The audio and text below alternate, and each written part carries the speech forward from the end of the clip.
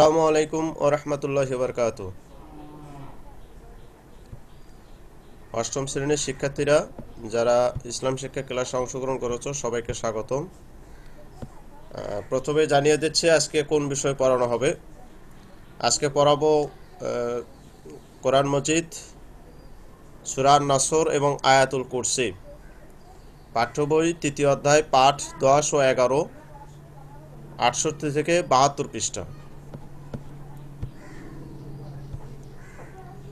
আজকের পাঠ থেকে তোমরা যে বিষয়গুলো জানতে পারবে, সুরার নাসরের পরিচয় বলতে পারবে, আয়াতুল কুরসি সম্পর্কে জানতে পারবে, আল্লাহ তালার ক্ষমতা ও মহিমা অনুধাবন করতে পারবে ইনশাল্লাহ তো এই তিনটা জিনিস মাথায় রেখে আজকে তোমাদেরকে পড়ানো হবে।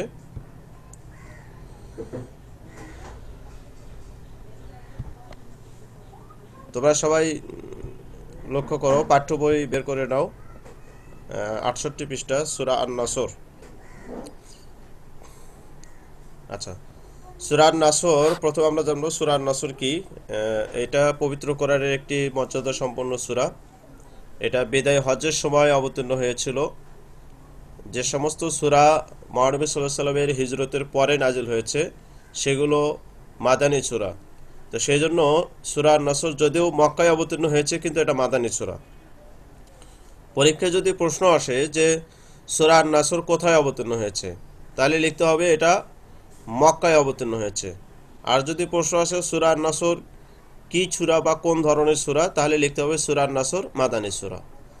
বুঝতে পারছ? কারণ এটা হিজরতের পরে অবতীর্ণ হয়েছে। এর আয়াত সংখ্যা তিনটি। এই সুরা পবিত্র কোরআনের একশো দশতম সুরা। এই সুরায় আর নাসর শব্দ থেকে সুরাটির নাম রাখা হয়েছে সুরা আন নাসর তো আমি গত ক্লাসেও বলেছিলাম যে তোমাদের প্রত্যেককে এই ছুরার যে প্রথম অংশ এই তথ্যগুলো মুখস্থ করতে হবে। এগুলো থেকে বহু নির্বাচনী এবং সৃজনশীল প্রশ্নের জ্ঞানমূলক প্রশ্ন আসে। তো সেই জন্য তোমাদেরকে এগুলো অবশ্যই মুখস্থ করতে হবে।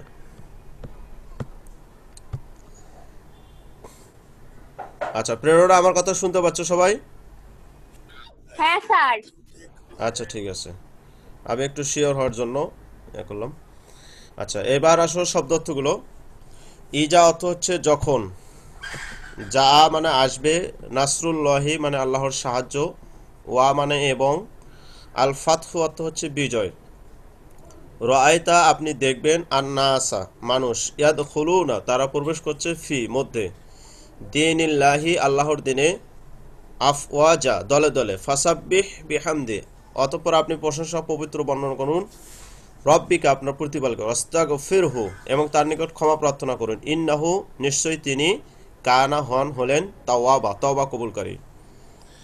তো এখানে অনেকগুলো শব্দ অর্থ আছে। এর মধ্যে কয়টা শব্দ অর্থ তোমাদের মুখস্থ করতে হবে? যেমন সুরার নামের অর্থ, আন্নাসরু মানে হচ্ছে সাহায্য করা। এটা একটু তোমরা খাতা কলমে লিখে নাও। আন্নাসর শব্দের অর্থ হচ্ছে সাহায্য করা। আন্নাসর শব্দ অর্থ হচ্ছে সাহায্য করা। এরপরে এই যে আল ফাতহু মানে বিজয়, এটা দাগায় নাও। আল ফাতহু অর্থ হচ্ছে বিজয়। এরপরে আন্নাসা মানে মানুষ। আন্নাসা মানে মানুষ। এরপরে আফওয়াজান মানে হচ্ছে দলে দলে। আফওয়াজান মানে দলে দলে। এরপরে তাওয়াবান, তওবা কবুলকারী। তাওয়াবান মানে হচ্ছে তওবা কবুলকারী। তো এই শব্দগুলো তোমাদেরকে মুখস্থ করতে হবে, এই শব্দার্থগুলো আবারও বলে দিচ্ছি আর নাসর অর্থ হচ্ছে সাহায্য করা। আর নাসর শব্দের অর্থ হচ্ছে সাহায্য করা। এরপরে আল ফাতহু অর্থ হচ্ছে বিজয়। এরপরে আন্নাস অর্থ হচ্ছে মানুষ। আফওয়াজান মানে হচ্ছে দলে দলে, তাওয়াবান মানে হচ্ছে তাওবা কবুলকারী। আচ্ছা বুঝতে পারছ সবাই? কারও কোনো প্রশ্ন থাকলে সে প্রশ্ন করতে পারো। কে একজন যেন হাত উঠাইছিল? দেখতে পাচ্ছি না। নাই। কারও প্রশ্ন থাকলে সে হ্যান্ড রাইস দেখাতে পারো, তাহলে আমি তাকে আনমিউট করার সুযোগ দেব।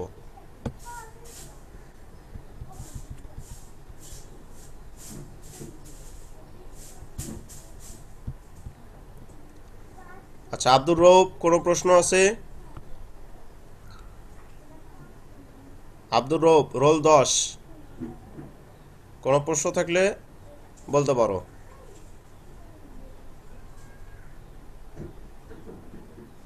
আচ্ছা আব্দুর রৌফ মনে হয় শুনতে পাইনি। আবু নাইম একশো দুই রোল।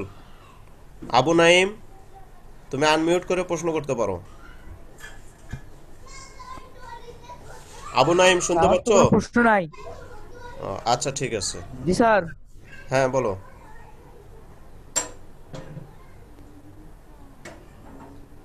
বলো, কিছু বলবা? কোনো প্রশ্ন আছে? আচ্ছা যা, আবার যার প্রশ্ন থাকবে সে হ্যান্ড রাইস দেখাবে। তো সব তথ্যগুলো ক্লিয়ার সবার? আচ্ছা পাঁচজন হাত উঠেছে দেখি কে কে। এখানে তো শো করতেছে না।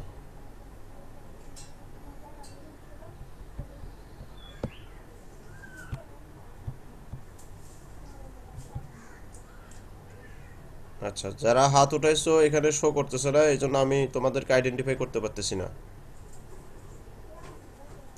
আমির হামজা, কোনো প্রশ্ন আছে আমির হামজা?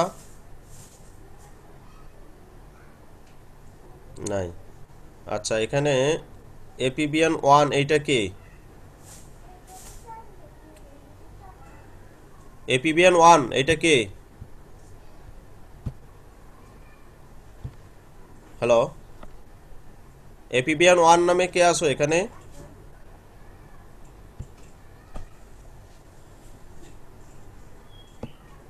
আচ্ছা কোনো রেসপন্স পাচ্ছি না। ঠিক আছে, আমরা পরের অংশ যাই। অনুবাদ লক্ষ্য করো বিসমিল্লাহ রহমান রহিম, দয়াময় পরম দয়ালু আল্লাহর নামে। ইজা আ যখন আসবে আল্লাহর সাহায্য ও বিজয়।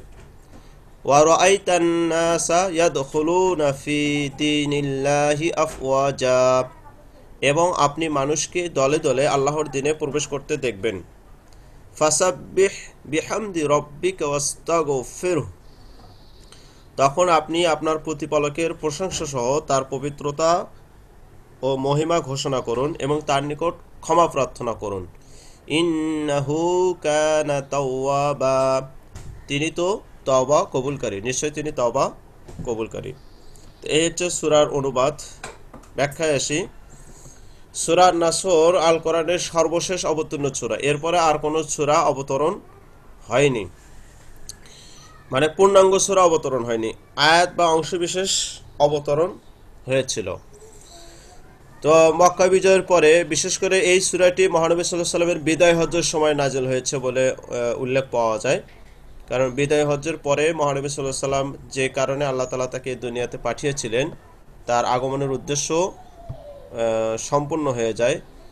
যার কারণে আল্লাহ তাআলা তাকে এই সূরার মাধ্যমে জানিয়ে দেন যে যখন আল্লাহর সাহায্য এবং বিজয় আসবে, তখন আপনি আপনার প্রতিপালকের প্রশংসা করুন, তার কাছে ক্ষমা প্রার্থনা করুন, তিনি হচ্ছেন তবা কবুলকারী। তো এ, তো যখন কাউকে কোনো দায়িত্ব দিয়ে পাঠানো হয় যখন তার দায়িত্বটা শেষ হয়, তখন কি করেন? তিনি সেখান থেকে চলে যান। তো মহানবী সাল্লাহ সাল্লামকে আল্লাহ তালা নবতী দায়িত্ব পালনের জন্য দুনিয়ায় পাঠিয়েছিলেন। তার এই দায়িত্ব আজকে পরিপূর্ণ হয়েছে। বিদায় হজ সুসম্পন্ন হয়েছে। দলে দলের লোক ইসলামে দীক্ষিত হয়েছে। যার কারণে তার দায়িত্ব পরিসমাপ্তি। তাই এই সুরের মাধ্যমে মহানবী সাল্লাহ সাল্লামের অফাত অফাত মানে হচ্ছে মৃত্যু, তার মৃত্যু যে নিকটবর্তী, অর্থাৎ তিনি যে খুব শীঘ্রই মারা যাবেন আর বেশি দিন পৃথিবীতে থাকবেন না, এটা বোঝানো হচ্ছে।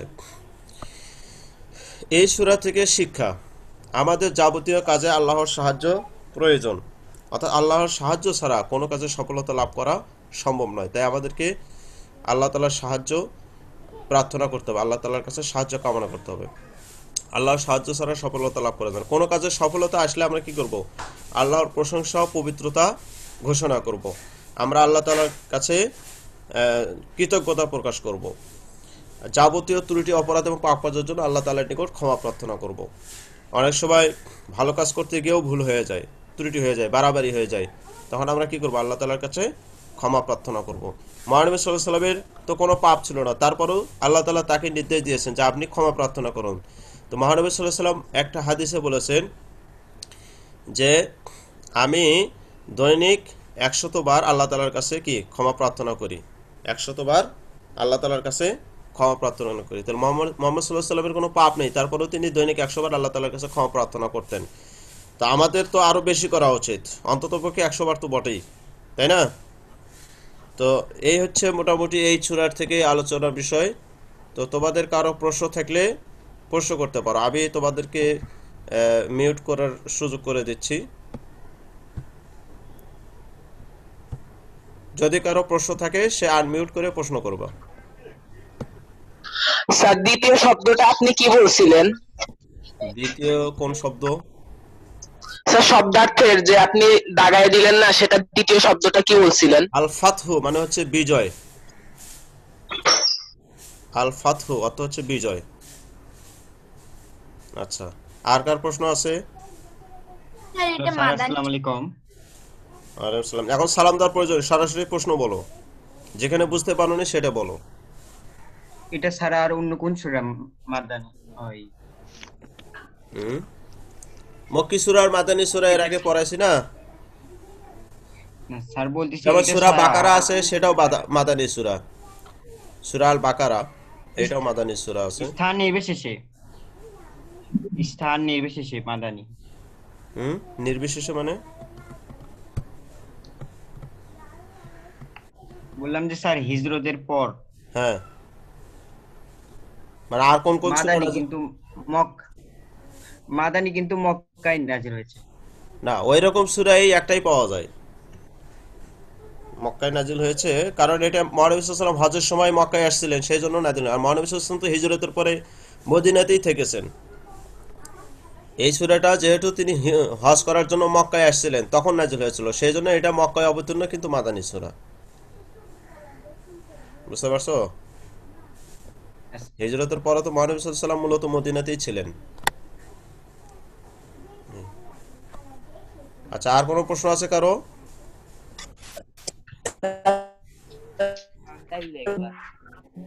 বুঝতে পারছি না কথা।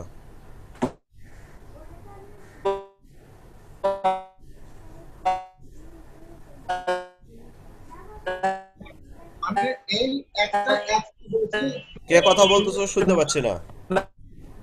আনমিউট আমাদের চারটা দশে ক্লাস হ্যাঁ ঠিক আছে। প্রশ্ন নাই কারও?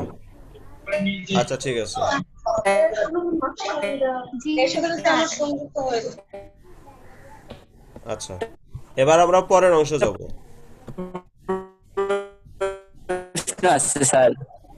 হ্যাঁ বলো।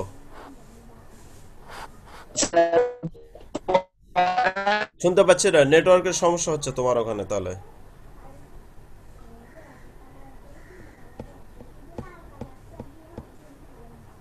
হ্যালো কে প্রশ্ন করছ? রাকিব হ্যাঁ বলো। রাকিব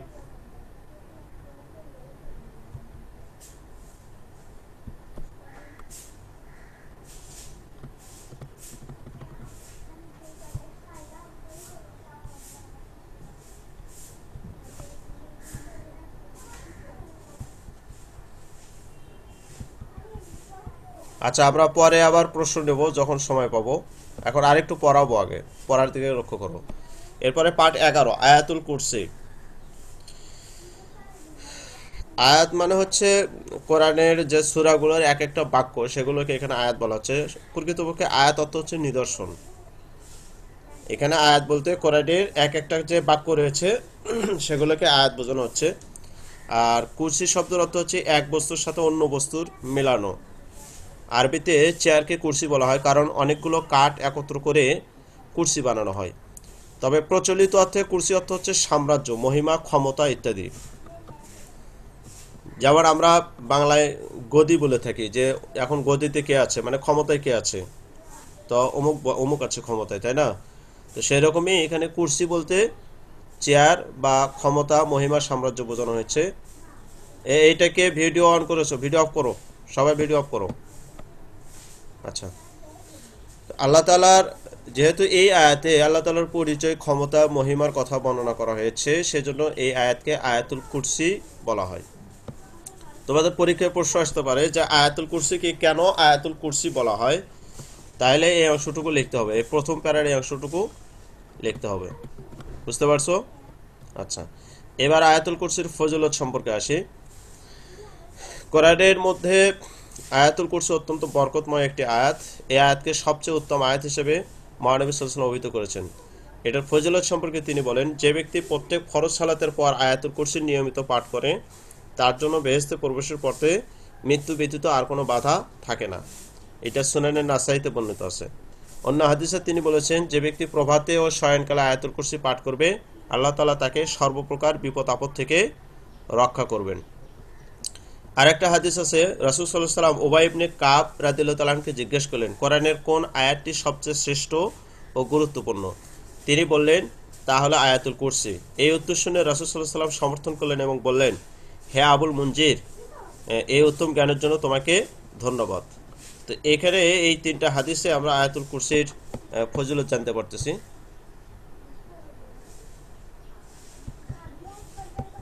আচ্ছা। আমি প্রশ্ন পরে নেব, প্রশ্ন করার জন্য সুযোগ দেব। আগে একটু পড়াই। তোমরা প্রশ্নটা খাতায় লিখে রাখো। যারা যেখানে বুঝতে পারছ প্রশ্নটা খাতায় লিখে রাখো, আমি পড়ানোর পরে প্রশ্ন করার সুযোগ দেব। আচ্ছা এ- এখানে অনেকগুলো শব্দ অর্থ রয়েছে গুরুত্বপূর্ণ। আমি গুরুত্বপূর্ণ শব্দ অর্থগুলো বলে দিচ্ছি। এগুলো তোমরা একটু দাগায় নেবে।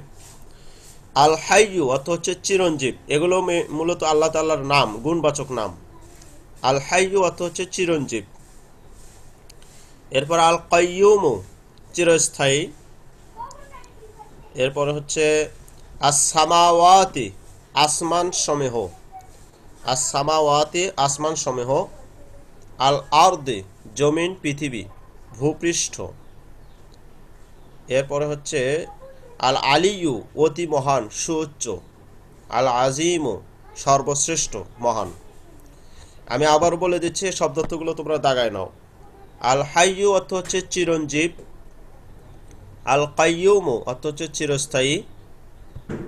এরপরে আসামাওয়াতি আসমান সমূহ আল আর্দে জমিন পৃথিবী ভূপৃষ্ঠ আল আলিয়ু অতি মহান, সুউচ্চ আল আজিমু সর্বশ্রেষ্ঠ, মহান। এই শব্দ অর্থগুলো গুরুত্বপূর্ণ, এগুলো তোমাদের মুখস্থ করতে হবে। আচ্ছা। এবার অনুবাদে আসি বিসমিল্লাহ রহমান রহিম। দয়াময় পরম দয়ালু আল্লাহর নামে। আল্লাহ লা ইলাহা ইল্লাহুয়া আল্লাহ, তিনি ব্যতীত কোনো ইলাহ নেই। আল হাইজুল কয়ুম তিনি চিরঞ্জীব, চিরস্থায়ী। লা তাখুজুহু সিনাতু ওয়ালা নাওম, তাকে স্পর্শ করে না তন্দ্রা বা নিদ্রা। তন্দ্রা বা নিদ্রা তাকে স্পর্শ করে না। তন্দ্রা হচ্ছে মানে ঘুম ঘুম ভাব, যেটাকে আমরা ঝিমুনি বলি। ঘুমের আগে অনেক সময় হাই আসে না ঝিমুনি সেটাকে বলা হয় তন্দ্রা। আর নিদ্রা হচ্ছে যেটা ঘুম। লাহু মাহফিস সামাওয়াতি ও মাহফিল আর্থ আসমান ও জমিনে যা কিছু রয়েছে, সমস্ত তারই, অর্থাৎ আল্লাহ তাআলারই সব কিছুর মালিক তিনি। কে আছে এমন যে তার অনুমতি ব্যতীত তার নিকট সুপারিশ করবে? অর্থাৎ আল্লাহ তাআলার অনুমতি ছাড়া কেউ আল্লাহ তাআলার কাছে সুপারিশ করতে পারবে না কে কিয়ামতের দিন। ইয়ালামু মা বাইনা আইদিহিম অমা খলফাহুম। তিনি তাদের সামনেও পেছনে, অর্থাৎ আমরা পিছনে কি করে এসেছি, অতীত জীবনে এবং ভবিষ্যৎ জীবনে কি করব, বর্তমানে কি করছে, এগুলো সবই আল্লাহ তাআলা জানেন। তিনি যা ইচ্ছা করেন, তাছাড়া তার জ্ঞানের কোনো কিছুই তারা আয়ত্ত করতে পারেন অর্থাৎ আল্লাহ তাআলার ইচ্ছা, আল্লাহ তাআলার সাহায্য ছাড়া আমরা জ্ঞান লাভ করতে পারি না। সেই জন্য আমরা আল্লাহ তাআলার কাছে কি জ্ঞান প্রার্থনা করি। আমরা কি বলে দোয়া করি? রব্বি জিদনি ইলমা। হে আল্লাহ, তুমি আমার জ্ঞান বৃদ্ধি করো। এইভাবে আমরা আল্লাহ তালার কাছে জ্ঞান লাভের জন্য দোয়া করব। ওয়াসিআ কুরসি ইউহুস সামাওয়াতি আরদ। তার কুরসি আসমান ও পৃথিবী পরিব্যাপ্ত। অর্থাৎ আর ক্ষমতা আসমান জমিনের সর্বত্রই বিস্তৃত। কোনো জায়গায় তার ক্ষমতার বাইরে নেই। ওয়ালা ইয়াউদুহু হিফজুহুমা এগুলো রক্ষণাবেক্ষণ তাকে ক্লান্ত করে না। আমরা যদি একটা কাজ করতে থাকি সেই কাজ করতে করতে আমরা কি হয়ে যাই? ক্লান্ত হয়ে যাই। কিন্তু আসমান, জমিন সব কিছু আল্লাহর হুকুমে পরিচালিত হচ্ছে। আল্লাহ তালা এগুলো নিয়ন্ত্রণ করছেন। কিন্তু তাতে তার কি? কোনো ক্লান্তি আসে না। ওয়াহুয়াল আলিউল আজিম, তিনি অতি মহান, সর্বশ্রেষ্ঠ। অর্থাৎ তার চেয়ে মহান, তার চেয়ে শ্রেষ্ঠ আর কেউ নেই। তো এই হচ্ছে মোটামুটি অনুবাদ সম্পর্কে। এখন তোমাদের প্রশ্ন করার জন্য আমি এক মিনিট সময় দেবো। কার কার প্রশ্ন আছে? তোমাদেরকে আনমিউট করার আমি সুযোগ করে দিচ্ছি। সে আনমিউট করে প্রশ্ন করো। স্যার একটা প্রশ্ন আছে। হ্যাঁ বলো। জোনায়েদ ফয়সাল বলো। স্যার আপনি যেগুলা শব্দ শব্দার্থ দেখে দিলেন হ্যাঁ। সেগুলো কি শুধু মুখস্থ করব নাকি অন্যগুলো মুখস্থ করব? যেগুলো বললাম সেগুলো মুখস্থ করব। আচ্ছা স্যার। আর চার নাম্বারটা কি বলছেন? শব্দের অর্থে। চার নাম্বার। হ্যাঁ। মানে আচ্ছা। শেষের থেকে আচ্ছা বলে দেন তো স্যার মানে ঠিক আছে সবাই একটু মনোযোগ দিয়ে শোনো আরেকবার বলে দিচ্ছি। আল হাইয়ু চিরঞ্জীব। আল হাইয়ু অর্থ চিরঞ্জীব। বুঝতে পারছ? আচ্ছা। এরপর আল কয়ুমু চিরস্থায়ী। এরপরে আস সামাওয়াতি আসমান সমীহ। এরপর আল আরদে জমিন, পৃথিবী ভূপৃষ্ঠ।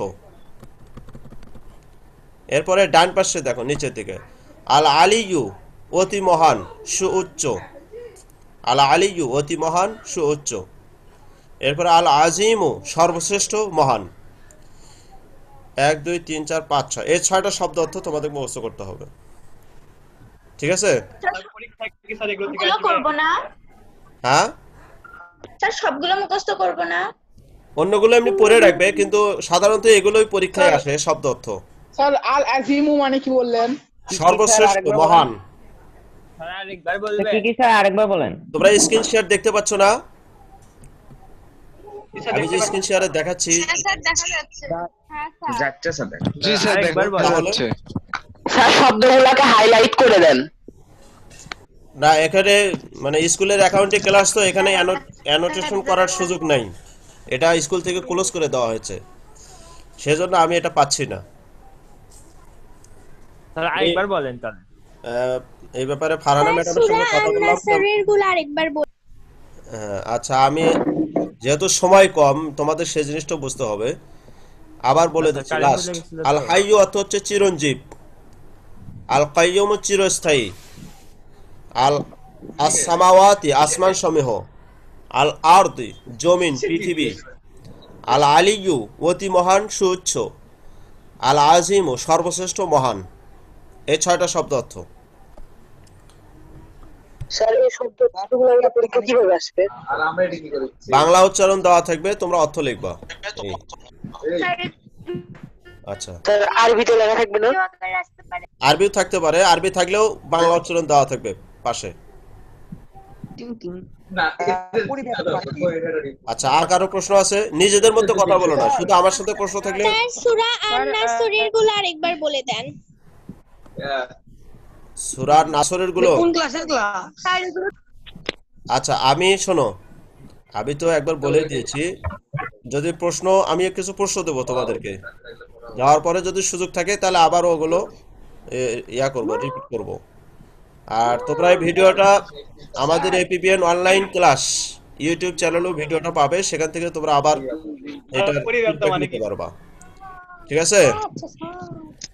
আচ্ছা আয়াতুল কুরসির তাৎপর্য একটু বাকি আছে। দেওয়া আছে যে স্যার। এটা পরে আমি প্রশ্নের দিকে যাব। স্যার এখানে একটা আয়তের অর্থ দেওয়া আছে। তার কুরসি আসমান ও পৃথিবীময় পরিব্যাপ্ত। স্যার হ্যাঁ। এটা অর্থ কি বোঝাচ্ছে? মানে পরিব্যাপ্ত অর্থ কি বোঝাচ্ছে? বিস্তৃত। মানে আসমান কুরসি বলতে এখানে আল্লাহ তালার ক্ষমতা মহিমা। আল্লাহ তালার ক্ষমতা আসমান জমিনের সর্বত্রই বিস্তৃত। মানে কোনো জায়গায় তার ক্ষমতার বাইরে নয় সব জায়গায় তার মানে নিয়ন্ত্রণ আসমান থেকে জমিন পুরোটাই আসমান জমিন মানে মহাবিশ্বের সবই। বুঝতে পারছ? জি স্যার। আচ্ছা।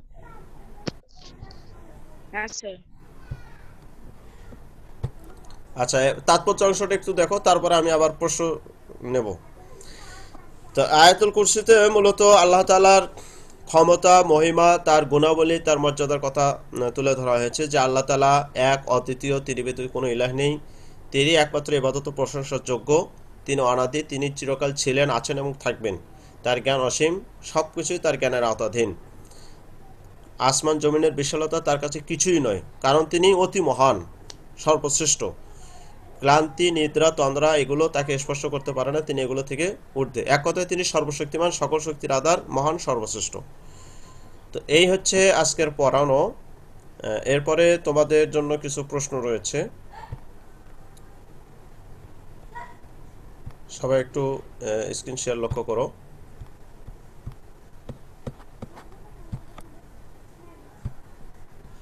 আচ্ছা এবার তোমরা নিচের প্রশ্নগুলোর উত্তর দেবে। আমি যাকে প্রশ্ন ধরবো, সে উত্তর দেবে, অন্যরা কথা বলবে না। আমি আনমিউট করার সুযোগ দিচ্ছি। আচ্ছা।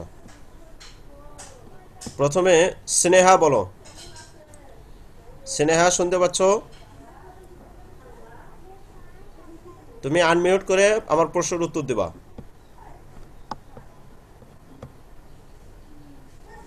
ঠিক আছে? বলো সুরার নসর কোথায় অবতীর্ণ? স্নেহা শুনতে পাচ্ছ? নাই। আচ্ছা তালহা তালহা জুবাইর। তো স্নেহা উত্তর বলো। সুরার নসর কোথায় অবতীর্ণ? স্যার মক্কায়। মক্কায় অবতীর্ণ হ্যাঁ গুড। এরপরে এরপরে দেখি কাকে প্রশ্ন ধরা যায়। তাহানিদ আসো তাহানিদ তাহানিদ শুনতে পাচ্ছ জি স্যার হ্যাঁ, সূরার নাসর আয়াত কতটি সূরার নাসর আয়াত কতটি স্যার সুরান নাসরের হ্যাঁ কয়টি আয়াত আছে সে চারটি হলো না না স্যার তিনটি তিনটি ওরা হবে। স্যার তিনটি তিনটি স্যার ভুল হয়ে গেছে হ্যাঁ, ভুল হয়ে গেছে তিনটি। তিনটা হ্যাঁ, তিনটি হবে আচ্ছা এরপরে তানিসা আছে এখানে দেখতে পাচ্ছি। তানিসা তানিসা বলবে সুরা নসর কোরআনের কততম সূরা। একশো দশ তম দশতম ঠিক আছে। এরপরে আহ, এ নাহিয়ান আছো নাকি? নাহিয়ান? নাহিয়ান মোস্তফা? হ্যাঁ তুমি বলবা। আল ফাতহু শব্দের অর্থ কি? আল ফাতহু হ্যাঁ। সুরার নাসরে আছে শব্দ অর্থটা। আচ্ছা আর নাসর শব্দের অর্থ কি? বলো তো দেখি।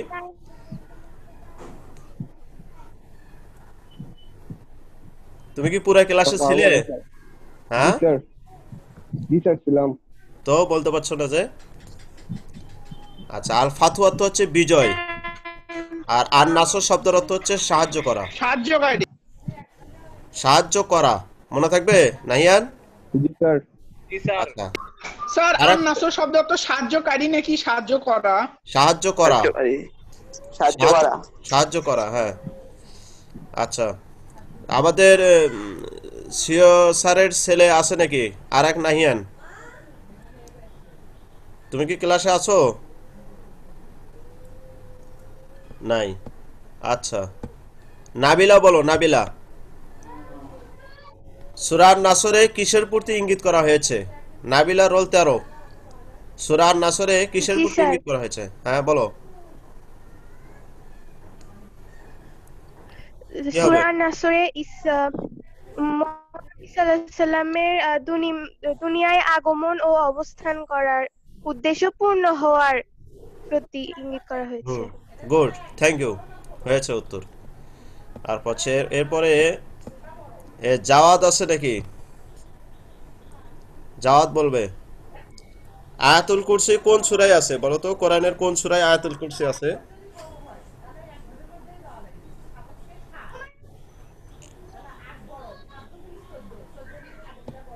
পাচ্ছে না। জাওয়াদ তুমি কি শুনতে পাচ্ছ?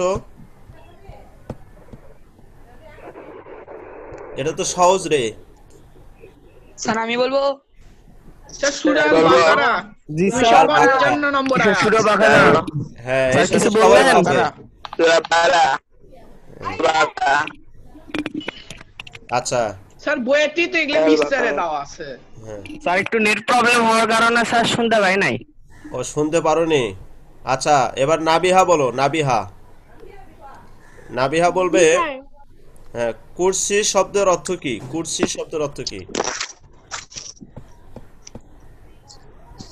এক বস্তুর সাথে অন্য বস্তু মিলানো। এক বস্তুর সাথে অন্য বস্তু। আচ্ছা ব্যবহারিক অর্থ কি? এখানে কোন অর্থে ব্যবহার হয়েছে?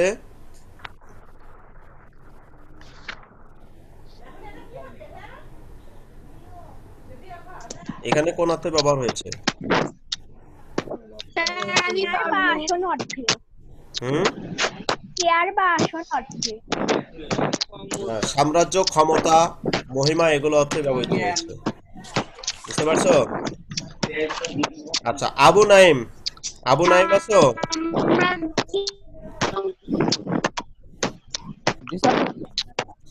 আচ্ছা তোমরা এখানে যে প্রশ্নগুলো দেখতে পাচ্ছ শোনো। এখানে যে প্রশ্নগুলো দেখতে পাচ্ছ এগুলো সবাই এইচ ডব্লিউ করবা। আমার কথা শুনতে পাচ্ছ? আচ্ছা আমি আবার কোথায়? এইচ ডব্লিউ করে খাতায় রেখে দেবা। এইচ ডব্লিউ করে খাতায় রেখে দেবা স্কুল খোলার পরে দেখাবা। কেমন? আচ্ছা স্যার। এর সাথে আরেকটা সৃজনশীল প্রশ্ন দেবো এটা একটু দেখো সবাই। স্যার খাতা দেখ আচ্ছা সৃজনশীল প্রশ্নটা সবাই একটু মোবাইলে ছবি তুলে নাও বা স্ক্রিনশট শুট তুলে নাও। তারপরে আমি একবার পড়ে দিচ্ছি। জাহিদ প্রতিদিন প্রভাতের শয়নকালে একটি ছুরার দুইশো পঞ্চান্ন নং আয়াত তেলাওয়াত করে। উক্ত আয়াতে আল্লাহ তাআলার ক্ষমতা মহিমার কথা বর্ণনা করা হয়েছে। সে এবার জেএসি পরীক্ষায় বৃত্তি লাভ করেছে সেজন্য তার আনন্দ সীমা নেই। তার বাবা তাকে উপদেশ দিতে গিয়ে বললেন মনে রাখবে যাবতীয় কাজে আল্লাহর সাহায্য প্রয়োজন। প্রশ্ন ক আল। ফাতহু শব্দের অর্থ কি? কে বলতে পারবা? বিজয়। বিজয়। হ্যাঁ। আচ্ছা খ নাম্বার হচ্ছে আয়াতুল কুরসিকে কেন এ নামে অভিহিত করা হয়? এটা আমি তোমাদের পড়ানোর সময় বলেছিলাম যে এটা প্রশ্ন আসতে পারে। তো আয়াতুল কুরসির পরিচয় অংশে প্রথম অংশে যে পড়াটুকু আছে সেগুলো তোমাদের লিখতে হবে ঠিক আছে? যেহেতু সময় কম আমি শেষ করে দিচ্ছি। জাহিদের পতিত সূরাটির নাম কি? জাহিদের পতিত সূরার নাম হচ্ছে সূরা নাসর। দুঃখিত জাহিদের পতিত সূরাটির নাম হচ্ছে সুরাল বাকারা সুরা সূরা বাকারা হবে। এই হ্যাঁ। হ্যাঁ এই সূরার যেহেতু দুইশো পঞ্চান্ন নং আয়াতের ফজিলত এবং তাৎপর্য অর্থাৎ আয়াতুল কুরসির ফজিলত আর তাৎপর্যটা লিখতে হবে। গ নাম্বারে। ঠিক আছে? আর ঘ নাম্বার হচ্ছে জাহিদের বাবার বক্তব্য সূরা নাসরের আলোকে বিশ্লেষণ করা। এখানে সূরা নাসরের পরিচয় এরপরে ব্যাখ্যা শিক্ষা লিখবা। আর মানে হ্যাঁ আর উদ্ধৃতি দিতে হবে। এখানে একটা আয়াত সূরা নাসরের তিন নম্বর আয়াতটা উদ্ধৃতি হিসেবে দেবা। বুঝতে পারছ? স্যার স্যার জি, স্যার, বুঝতে পারছি। ডাব্লিউ করব। হ্যাঁ ওই সংক্ষিপ্ত প্রশ্নগুলো এইচডব্লিউ করবা। স্যার আপনার মেসেঞ্জারে পাঠাবো। জি মেসেঞ্জারে দিতে পারো সমস্যা নেই। তবে খাতাগুলো রেখে দেবা। স্যার আপনার আইডিটার নাম বলেন তো রায়হানুর আর আর রহমান।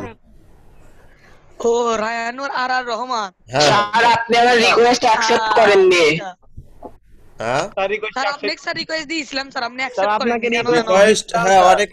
নামে বেনামে দিছো তো ওই জন্য। তোমরা নাম এবং রোল নাম্বার উল্লেখ করে রিকোয়েস্ট দিলে তখন সেটা আমি অ্যাকসেপ্ট করব। নাম আর রোল নাম্বার উল্লেখ করবা।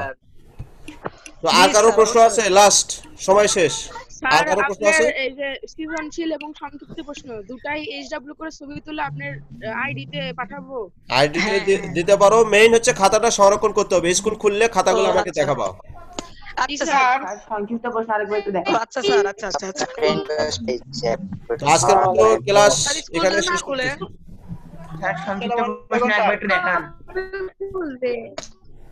স্কুল যদি না খুলে আসসালামু আলাইকুম আসসালামু আলাইকুম স্যার ওয়ালাইকুম। আসসালাম আসসালামু আলাইকুম আসসালামু। আলাইকুম স্যার আসসালামু আলাইকুম যারা ক্লাসে অংশগ্রহণ করেছ সবাইকে ধন্যবাদ জানিয়ে আজকের মতো ক্লাস শেষ করছি। আসসালামু আলাইকুম স্যার